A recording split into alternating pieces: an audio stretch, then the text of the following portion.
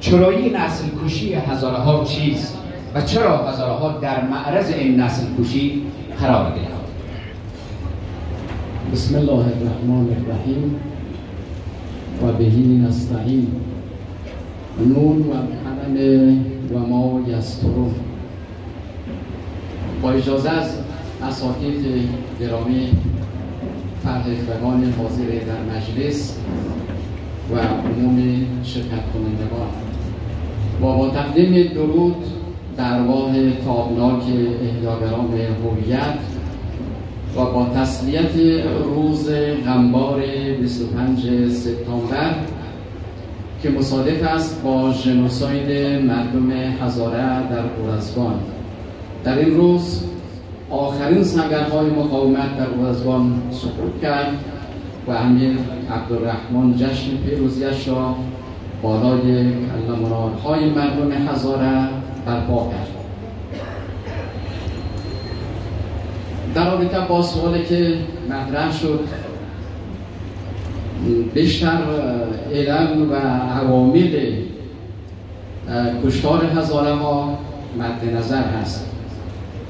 با توجه به فرصتی که هست چند تا عامل و صورت تیتروار و کودوار خدمت سروران ارجمند تقدیم می شود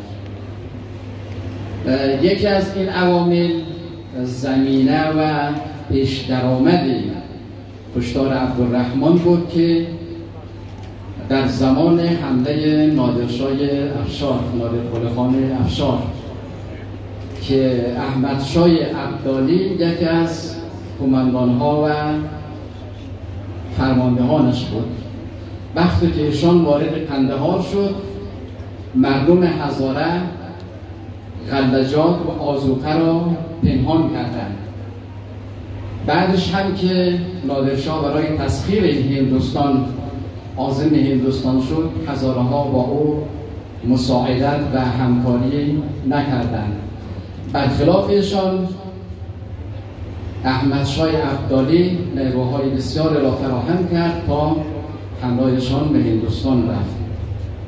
وقت فاتح از هندوستان درگشت اولین کاری که بود تصفیه حساب با مردم هزاره بود و ایشان سرزمین های مردم هزاره را در قندهار اطراف قندهار خاکریز به خصوص منطقه بسیار سرسبز و حاصلخیز ارغندا اینها را تحویل کسایی داد که همراهشان در هندوستان رفته بود.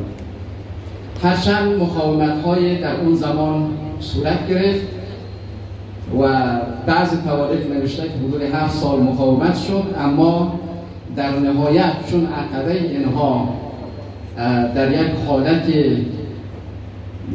مستقل و در یک حالت رقابت با اینها به سر می برد. لذا همکاری و مساعدت از پشت سر صورت نگرفت و امدادهای انجام نشد. در نتیجه هزاره در اونجا شکست خورد. زمین هایی در اونجا وجود داشت اینها بین مردم پشتون بین اقوام مختلف تقسیم شد. و وقتی که نادرشاه از دنیا رفت احمد شاه ابدالی با اون ترفندی که انگلیسی ها به کار برد به حاکمیت رسید. بعدش هم کم همون سیاست خزنده تسخیر زمین را اینها ادامه دادن. از شهر صفا شروع کردن تا خود کابل. این مسیر خط شاهرای خندهار تا کابل اکثرا مردم هزاره ساکن بودن. اما احمد شای عبدالی کاری کرد که این سرزمین ها را از مردم هزاره گرفت و از داخل هزارجات یک پشتبانی و حمایت جدی صورت نگرفت. البته بحث در اینجا خیلی مفصل هست. با توجه به زدی وقت به همین مقدار اکتفا می‌کنم که احمد شای عبدالی بسیار از بخش های زمین سرزمین هزاره ها را تسخیر کرد و به اقوام خودش داد عامل دیگری که در اینجا نقش دارد این است که سیاستی که در اون زمان وجود داشت و رقابتی که بین روسیه که در آسیای میانه و اون طرف آسیای میانه بود و انگلستانی که هندوستان را مستعمره خود ساخته بود.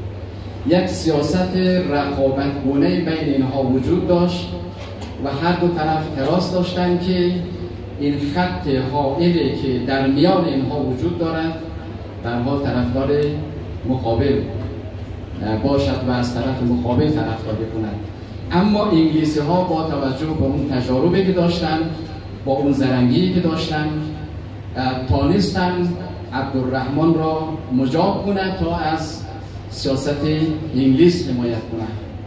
عبدالرحمن در اون وقت در آسیای میانه در سمرکند زندگی می‌کرد. نشان آمد در قندوز با اون فرمانده انگلیسی ها مذاکره کرد. تعهد سپرد که حافظ سیاست انگلیس در داخل منطقه باشد و اجازه دهد که سربازای انگلیس با امنیت از افغانستان خارج شوند. و این گونه بود که خب در نهایت خط دیورن واگذار شد. انگلیسی ها متعهد شد که سالیانه 18 لک کلدار به عبدالرحمن کمک کند و همین رقم یک زرادخانه را در کابل درست کرد که مسئله سیاسی بسیار مهم بود و انگلیسی ها حمایت همه جانبه و همه گونه را به انجام رساند. کتاب هزاره و هزارستان نوشته پیجی میتلند ترجمه اکرم گذابی که وضعیت هزاره ها را سنگ به سنگ تشریح کرده. کلا در ارتباط با همین موضوع هست در همین راستا صورت گرفت. مسئله دوم سوم شخصیت و منش و کیش شخصیت خود عبدالرحمن خان بود. ایشان یک شخصیت پولدور یک شخصیت خشین یک شخصیت قصی القلب بود که هر مقداری که جنایت می‌کرد سیر نمی‌شد. در نهایت این خوی باعث شد که این جنایت و فجایعی که صورت می‌گرفت بسیار هم شنیع بود. هیچ گونه خلاصه قلب عبدالرحمن را نسوزاند و با قصاوت تمام مردم را سرکوب نماید. یکی از عوامل دیگری که باعث شکست هزاره ها شده این بود که قبل از این که عبدالرحمن بالای هزاره ها حمله کنند روابط حسنه با اینها داشت در یک از حسینی ها در کابل حضور پیدا کرد در ماه محرم هدایایی داد و بخش از مردم هزاره با عبدالرحمن همکاری کرد در سرکوب اقوام دیگر. برخی از اقوام پشتون و تاجیک و ازبک و قومای دیگر. تا از این طریق یک خصومت و یک دشمنی را در درون مردم هزاره و مردم های دیگر به وجود بیارد تا یک زمین سازی شود برای آینده. اونها انگیزه داشته باشند که روی مردم هزاره حمله کنند و خشونت به خرج دهند. در درون هزاره ها هزاران به دو قسمت تقسیم می‌شد. یک هزاره های مستقل بود که عبدالرحمن در تاج تواریخ یا در سراج تواریخ به نام هزاره های یاگستان یاد میشن یک قسمت هزاره ها که شامل بهسود و دایزنگی و غزنی و سمت شمال و برخی جاهای دیگر بود. خب اینها با حکومت سر آشتی داشتن و با حکومت همکاری می‌کردن. عبدالرحمن طبق پلان انگلیس وقتی که می‌خواست بالای هزارجات حمله کنند با استفاده از این اختلافاتی که وجود داشت که هر خانی ادعای حاکمیت داشت اینها به حال با دیگری اختلاف نکردن اینها خلاصه. تانستن از این اختلافات یک نیروی قوی را از مردم خود هزاره با وجود بیاره تا بر علیه هزاره ها بجنگه. تشکر جناب دکتر سی در طولی یک دقیقه صحبتاتون خیلی خلاصت میگید چون وقت ما خیلی کم است. بله هر به حضور که ما اگر یکی از سردارای هزاره که در شارستان بود میر از این خانه سپای این اگر در نظر بگیریم وقتی عبدالرحمن رضیشان تقاضای همکاری کرد واقعا همکاری کرد. هفت خانواده یا هفت خاندان از خاندان بزرگ هزاره ها را تحویل عبدالرحمن داد رفت در کابل. رتبه اعزازی سرداری به او داد. که رتبه اعزازی سرداری؟ یعنی مساوی با خاندانی شاهی. اما تا سال 1270 که هزاره جان تقریبا تصرف شده بود حتی ارزگان به شمول یاغستان وقتی که سپاه عبدالرحمن عبدالقدوس خان در اینجا مستقر شد شروع کردن بر بیناموسی و تاخت و تاز و انواع و اقسام مالیات. لذا بود که میر از خان وجدانش بیدار شد و بعد بسیار از قوانین وجدانش بیدار شد. در نتیجه اینا با هم تعهد کردن که دفاع مشترک داشته باشند. که این خودش خیانت از داخل هزاره ها شد. خب حال راپور این عبدالرحمن رسید. پلان عملیاتی را عوض کرد. یک نیروی بسیار منظم بیش از صد هزار نفر نیروهای جاری ده هزار نفر سوار حدود چهل هزار نفر پیاده از نیروهای نظامی خود اینا وارد هزارجات شدن تا اینکه در 25 سپتامبر هزارجات و هزارستان و ورزگان که مرکز هزارجات بود متاسفانه سقوط کرد. تشکر از شما جناب دکتر جعفری. جناب دکتر سعادت حضور شما را خوش آمده به خیر مقدم عرض می‌کنیم تشکر از اینکه دعوت ما را پذیرفتید. سوالی که می‌خوام از شما داشته باشم. این است که آیا آثار نسل کشی از بین رفته است یا جامعه هزاره هنوز از آن متاثر است؟ در طول سه دقیقه. بسم الله الرحمن الرحیم. با عرض سلام و ادب احترام به یک و یک شما حاضرین. جنوسایت یا نسل کشی که در فاصله سالهای 1891 تا 93 عمدتا در ارزگان اتفاق افتاد. آنقدر سنگین بود و آنقدر قامت هزاره را شکستان که من خودم فکر می‌کنم که تا هنوز هزاره ها قامت خود را راست نتوانسته است. به صورت اگر مثلا مشخص اشاره کنیم چند موضوع رو می‌تونیم در اینجا مطرح کنیم. اول به لحاظ روانی یا روانشناختی. این اصل کشی آنقدر شدید بود و آنقدر عمیق ادامه یافت که هزاره ها را روح جمعی هزاره ها را به تسلیمی انقیاد اطاعت از قوم دیگر وادار کرد. به عبارت دیگر این جنوساید خودباوری را از انسان هزاره گرفت و انسان هزاره به اصطلاح اعتمادی به نفس خود را از دست داد. قبل از این مثلا شما شاهد هستیم که هزاره ها خیلی غرور داشتن غسیانگر بودن ایار بودن. مثلا وقتی که عبدالرحمن نامه نوشته می‌کنه به بزرگان هزاره که بیاییم از کابل اطاعت کنیم و در اونجا صحبت می‌کنه که ما چهار تا دولت همسایه داریم. اینها در جواب عبدالرحمن می‌گوید که شما پنج تا دولت بگویید یک دولت هزارستان را اضافه کنید. آنقدر غرور داشتن ولی این غرور متاسفانه شکست و من احساس می‌کنم که همین شکست غرور و به اصطلاح خود باوری امروز هم در میان ما تا حدودی وجود دارد. تشکر. وقت مونده؟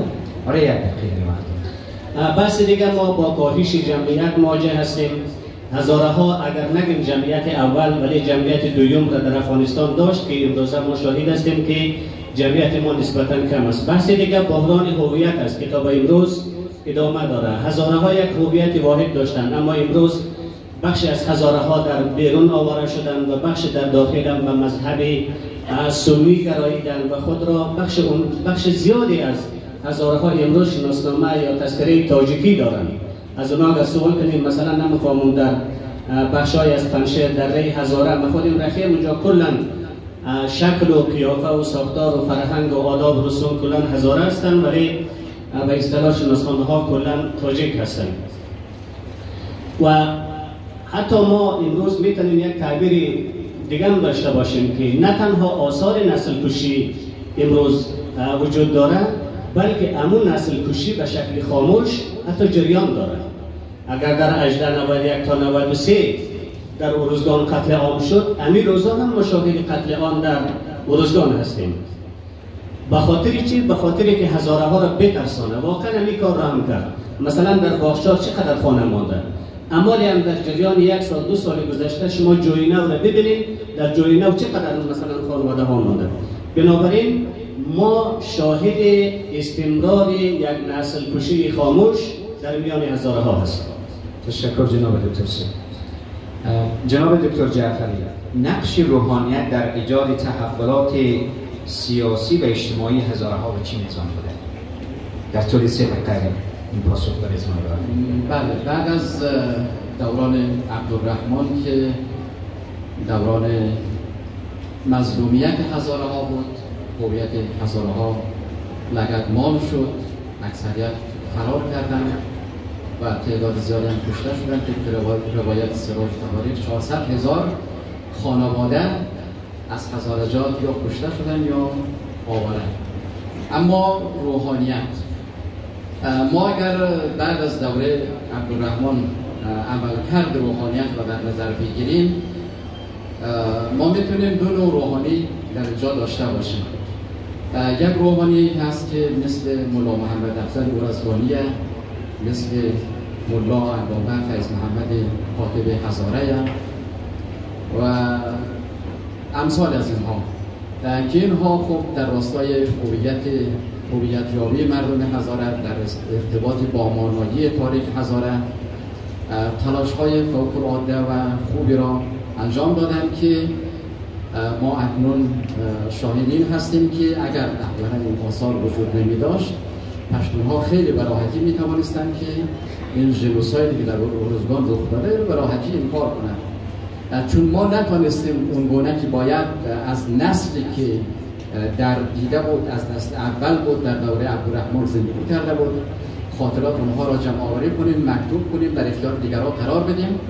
و بازم الحمدلله فرصت هست نسل دومی از اونها که اولادای اونها باشد. خب هنوزم تعدادشان در قید حیات هستن. اگر اینا هوش و داشته باشن استفاده شود.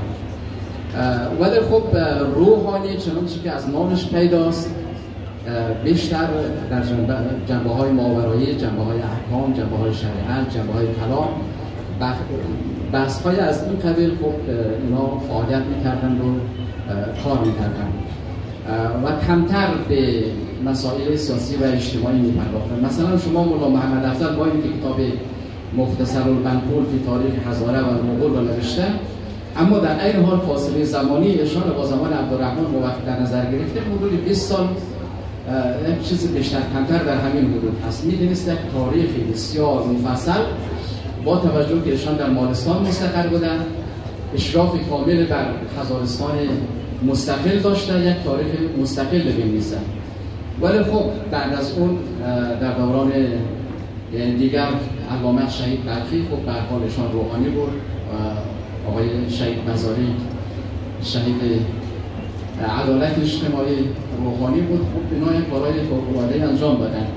اما بودن روحانیونی که خب درباری بودن در کابل سر در شاه داشتن در حال به نفع شاه فعالیت می‌کردن. فعالیت های منفی داشتن و از جمله تحریم مکاتب در هزارجات محصول همون فکر بود که از کابل آبشخور اصلیش کابل بود. خب در سطح هزارجات گسترش پیدا می‌کرد. ملاهای بسوادی در اونجا بود در مقابل آگاهی مردم در مقابل سواد مردم در مقابل فهمیدن که مردم دانایی مردم می استادن لذاست که دو نوع روحانی وجود دارن خب یک روحانی که به اون شکل کار کردن و روحانی های دیگری که خب نقش منفی داشتن که متاسفانه اونایی که نقش منفی در جامعه داشتن خیلی بیشتر از اونایی بودن که نقش مثبت داشتن. تشکر از صحبت های شما جناب جناب دکتر سعادت سوال دومی که شما می‌خوام سوال کنم در رابطه به این است که نسل امروز هزاره در قبال این نسل کشی چه کارها می‌تواند انجام بده در قبال این نسل کشی میشه در مورد خود همون نسل کشی اقدام کرد. به عنوان مثال می‌تونه در به اصطلاح با جمهوری تمام اسناد که در سازمان ملل در نهادهای بین المللی به اصطلاح بکشانه و به اصطلاح ژنوساید را در جهان به رسمیت به اصطلاح به رسمیت بشناسند. که این خودش فواید خیلی زیادی داره که باز به خاطر محدودی وقت یک از فوایدش اینه که ما امروز می‌تونیم مناطق غصب شده را دوباره به اصطلاح ادعا کنیم و این را در محاکم داخلی و خارجی به اصطلاح مطرح کنیم. یک موضوع. موضوع دیگه است که ما زیاد گفتیم که مثلا امیر عبدالرحمن آمد ما را تارمار کرد قتل آن کرد. واقعیت هم است. درسته. ولی به نظر یک کار دیگر را انجام ندادیم که نسل امروز خوب است که به اون زاویه بپردازه. و عبارت از یک نگاه انتقادی درونی هست. خوب است که ما تاریخ خود را با رویکرد انتقادی مورد مطالعه قرار بدیم. به این معنا که علاوه بر که به اصطلاح دو دوره یک بازی بزرگ بود امیر عبدالرحمن جابر بود سابقه به اصطلاح قتل ما را داشت ما برای لحاظ درونی به اصطلاح چه مشکلاتی داشتیم؟ ضعف های ما چه بود؟ ضعف های تاکتیکی ما چه بود؟ استراتژیکی ما بود؟ چه خیانت های صورت گرفت؟ چه اشتباهاتی ما کردیم؟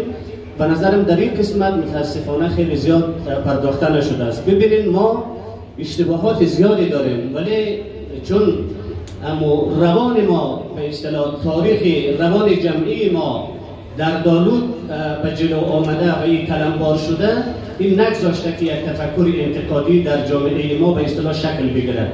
ای که امروز ما شما به اصطلاح همدیگر افاش میدیم ناسزا میدیم در فضای فیسبوک این تفکر انتقادی نیست. تفکر انتقادی خودش یک مکتبه تفکر انتقادی در جامعه ما شکل نگرفته. ما اشتباهات بسیار زیادی کردیم. به عنوان مثال به یک مثال ببینید شهید مزاری در مقاومت غرب کابل یک ادبیات یا گفتمان را به عنوان حق و حقوق سیاسی مطرح کرد. او گفت که هزاره ها در حاشیه بوده باید در متن بیاید. هزاره ها حق سیاسی می‌خواهد حقوق سیاسی می‌خواهد ولی بعد از شهادت شهید مزاری در 20 سال گذشته ما شاهد از بودیم که نمی گفتمان رهبر شهید انحراف پیدا کرد. گفتمان حق و حقوق سیاسی و امتیاز سیاسی تغییر کرد.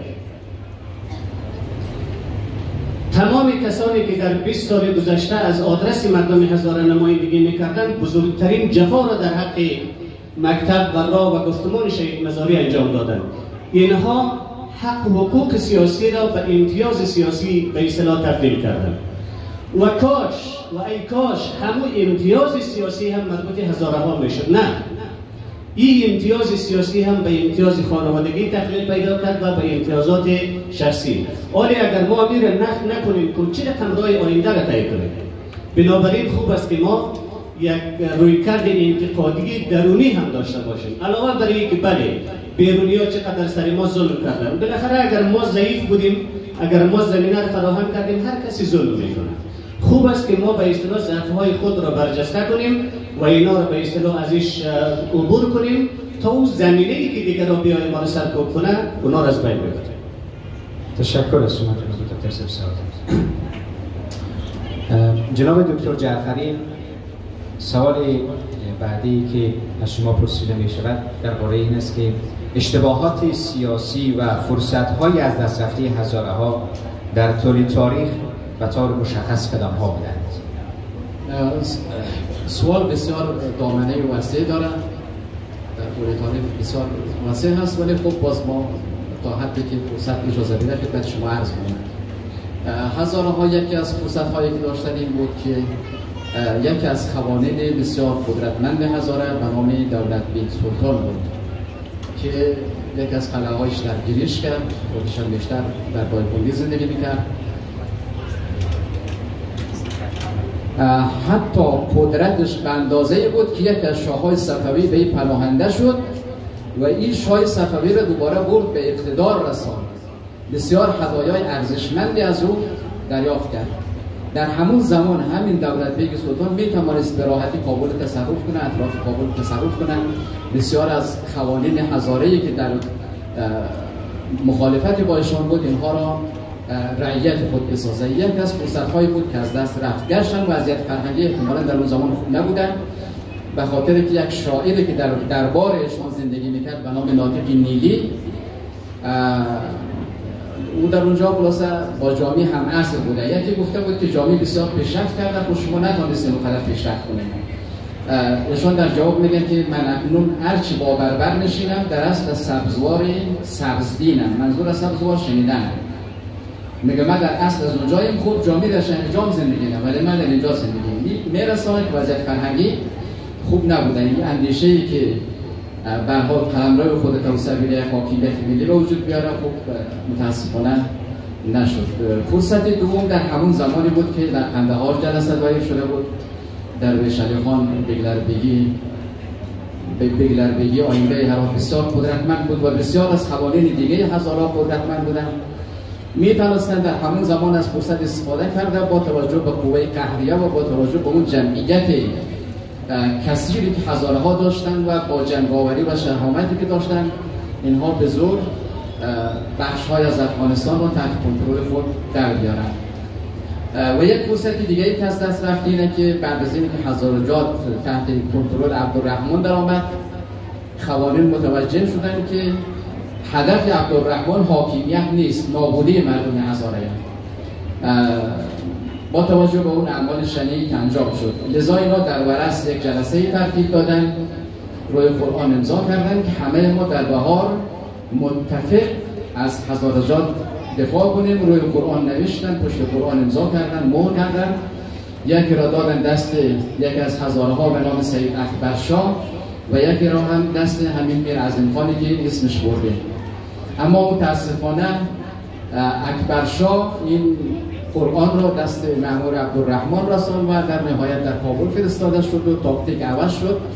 فتوای کفریت مردم هزاره بعد از این تاریخ صادر شد. قبلا چنین فتوای صادر نشده بود. اگر اون فرصت خوب استفاده می‌شد اینا متحدانه دفاع می‌کردن. یقینا می‌تونستن از هزارجات دفاع کنند. و یکی از فرصت هایی که در دوران معاصر به وجود آمد. بعد از عبدالرحمن دیگه زمان هرمان هزاره ها بود. در زمانی که حکومت کمونیستی در افغانستان روی کار آمد دروازه دنیا و روی هزارجات و مردم افغانستان باز شد. اینا می‌تونستن هم از حکومت استفاده بکنن متحدانه متحد حکومت باشن. که یک فرصت بود و هم می‌تونستن. اگر با حکومت سر ناسازگاری داشتن لاقل با جامعه جهانی ارتباط برقرار می‌کردن. اطراف خود خط نمیکشیدن. یک خاطره مختصر از یک رهبران. یکی از رهبران صحبت کرد که جلسه در زمان زیاب الحق در اسلام آباد دایر شده بود. سفیر ایران گفت مرا با خودش برد در جلسه. بعد زیاب الحق از سفیر ایران چون رهبران سنر میشناخت پرسیده بود که این آقا کیه؟ گفته بود یک از رهبران هزاره افغانستان است بعد زیاب الحق خواسته بود از اینکه بعد از جلسه ما در داریم بشین با هم صحبت کنیم. ایشان میگه وقتی که زیاب الحق همین حرف گفت انگار که ساختمان مثلا ما خلاصه فرود آمد. بعد جلسه که تمام شد در نیای خلاصه سفیر ایران از اون جلسه خارج شده بود. دیگه نرفته بود در دیدار زیاب الحق و اون برنامه های دیگه ای که وجود داشت. تشکر از پاسخ دقیق و عمیق شما جناب دکتر جناب دکتر سعادت سوال آخرین سوالی که از شما دارم در رابطه این است که تلاش برای هویت یابی دوباره هزاره ها دقیقا از چه زمان آغاز شد؟ هزاره ها پیش از جنوسایی که عبدالرحمن دارای تاریخ بود دارای فرهنگ دارای هویت دارای یک تمدن تاریخی بود. شما می‌دانید که هزاره ها پیش از اسلام دین بودایی داشتند. تمدن بودایی در افغانستان به دستان به اصطلاح هزاره ها با وجود آمد که یک دوره بسیار درخشان رضا جنوسایدی که در عبدالرحمن انجام داد بعد از او هزاره ها به سمت بحران هویت و حتی هویت گریزی رفت. هزاره ها تلاش می‌کرد که تا به خاطر که از ظلم و ستم جلوگیری شود هویت خود را کتمان می‌کرد. مثلا گفت ما هزاره نیستیم. اما برای که دوباره هویت هزاره های احیا شود می‌تونیم یک دستبندی داشته باشیم. می‌تونیم ارز کنیم که به شکل کلان قرن 19 قرن سرکوب هزاره های ولی در قرن بیستم هزاره ها باز وارد عمل سیاسی شد. از دوره امان الله خان تا دوره حبیب الله و به اصطلاح ظاهر تا پیش از کودتای هفت سور این یک دوره یعنی بعد از امیر عبدالرحمن تا کودتای هفت سور یک دوره که در اینجا یک تعداد احیاگران به اصطلاح آمدن که مهمترین از اینا فیض محمد کاتب بود که او حتی عضو جنبش مشروطیت اول بودن. بعد از او در ادامه عبدالخالق بود و بعدش هم سید اسماعیل بلخی بود که حزب ارشاد را تأسیس کرد و بعدش هم به اصطلاح خب یادم رفت که چند نفر دیگه هم از بزرگان بودن تا دوره بله یکی دیگه علامه اسماعیل مبلغ بود که متاسفانه از او یادی نمیشه. او حتی در پاهنتون کابل به عنوان استاد قبول شد. ما وقتی که آمد دید که قیافه هزارگی داره او رد کرد. یک کتاب بسیار چند کتاب بسیار جالبی هم داره اسماعیل مبلغ. بعد از های هفته سال بسیار فصل جدیدی از تاریخ آغاز میشه. هژمونی قدرت پشتونها فرو می همه اقوامی که در حاشیه بودند تحت عنوان فرماندهان جهادی به میدان می آید اینجا همه اقوام هویت خود را وسته به دست می‌گیره و از جمله هزارها. در این مقطعی از تاریخ ما شاهد ازی هستیم به عنوان مثال آقای اکرمیاری حزب دموکراتیک حزب دموکراتیک جوانان افغانستان یا شعله جاوید را تأسیس کرد. اکرمیاری یک نابغه شرق بود. بعدش در ادامه مثلا سلطان علی کشمن حتی به مقام وزارت رسید. او هم برای احیای هویت هزارها بسیار فعالیت کرد. بعد این در اردوگاه به اصطلاح می‌تونیم بگیم که در اردوگاه چپ بود. اما در بین اردوگاه راست یا اسلامگراها بازم ما اینجا شاهد مثلا سید اسماعیل برخی اینا البته وقتر بودن. شاهد بزرگان دیگه بودیم که رهبران جهاد به اصطلاح امو فرماندهان احزاب جهادی را می‌تونیم به اصطلاح نام بگیریم. و بعد تا می‌رسیم به دوره مقاومت غرب کابل که در اینجا شهید مزاری به اصطلاح هویت هزاره ها را بسیار بسیار برجسته کرد. به عبارت دیگه بعد از امیر عبدالرحمن تا کودتای هفت سال ما به شکل انفرادی انفرادی شاهد هستیم که احیاگران هویت به میدان می در دوره به اصطلاح از کودتای هفت سال با فروپاشی هژمونی قدرت پشتونها تا مقاومت در کابل را بازم احزاب به دنبال احیای هویت هست ولی نه به شکل مستقیم. تا اینکه در مقاومت غرب کابل توسط مردم آگاه و روشن زمیر کابل و رهبری شهید مزاری هویت هزاره ها مطرح شد و به اوج بارندگی خود رسید و تا به اصطلاح شهید مزاری یک فصل جدید در تاریخ هزاره ها آغاز. تشکر از صحبت های دردمندانه آگاهانه و اندیشمندانه مهمانان برنامه حجت الاسلام و المسلمین جناب دکتر جعفری و جناب دکتر سعادت. پاسخ ما پاسخ های ما به اینجا به پایان می‌رسه صحبت های ما.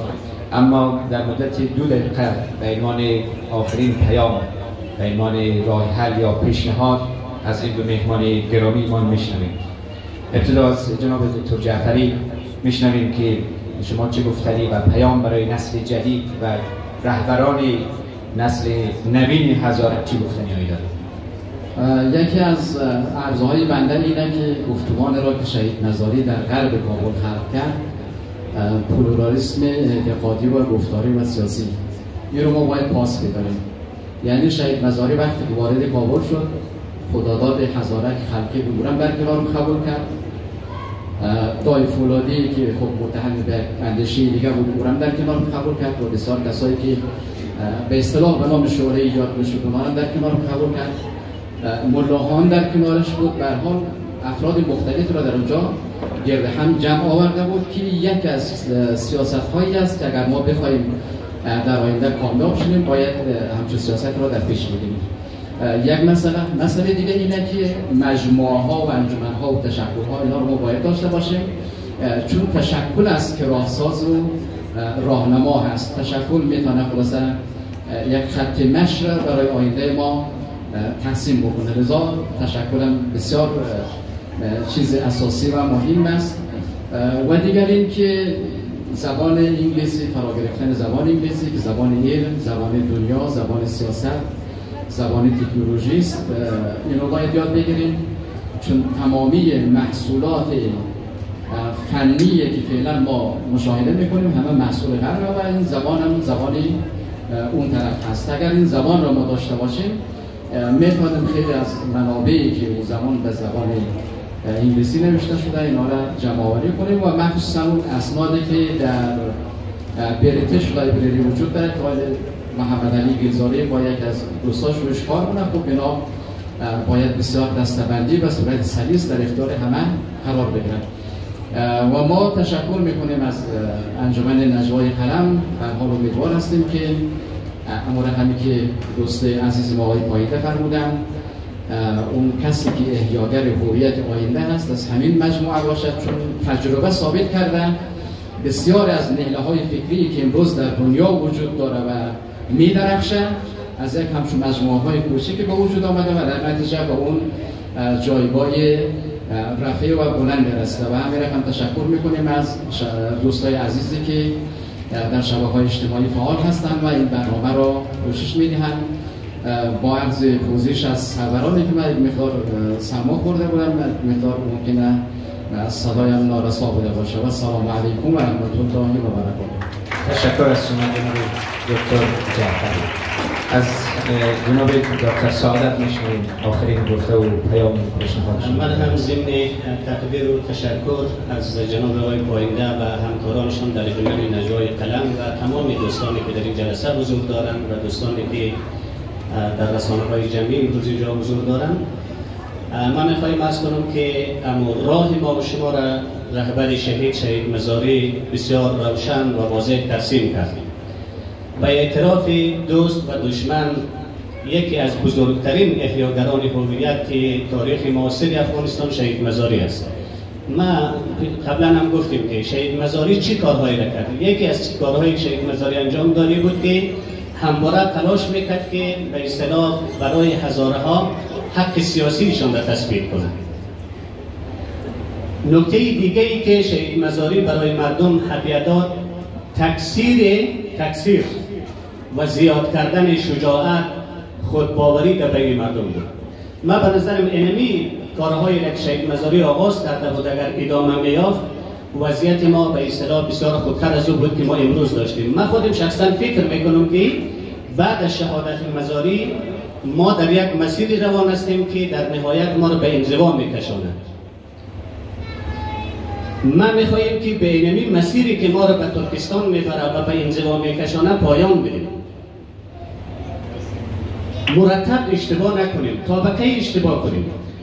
ده حتی در دوره امیر عبدالرحمن یک اشتباه کردیم منجر به جنوسای شد که تا صد سال دیگه آل ما به اصطلاح تابان از رو پس میده فرصت ها برای یک جامعه برای افراد بسیار کم به اسم مثل یک چرخ واریه که مثلا در یک قسمتش فرصت است.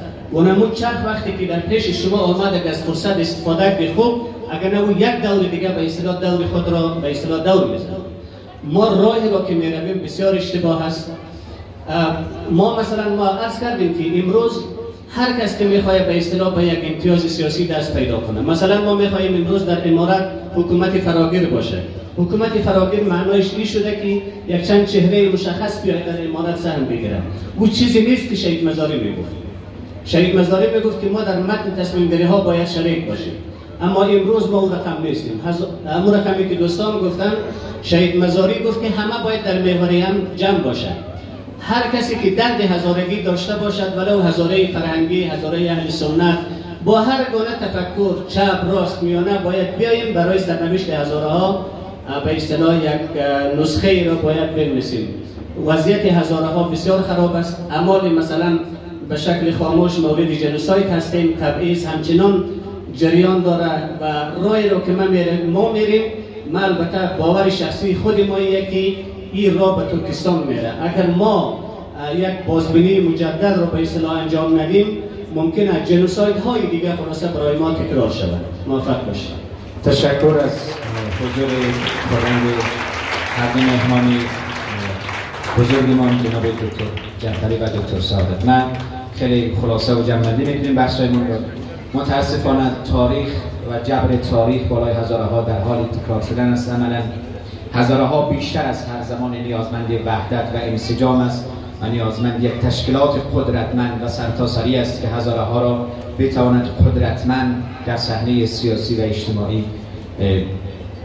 آشکار کنند و هزاره ها امروز نیازمند دقیق نیازمند مطالعه عمیق و درک عمیق از تاریخشان می باشد و هزاره ها باید امروز خودشان را به هر شکلی شده با دانش روز باید مجهز کنند تا قدرتمند ظاهر شدند تشکر از اشتراک همه شما سروران و مهمانان گران قدر ما بحث ما به همینجا و پایان برسد عزت و سروران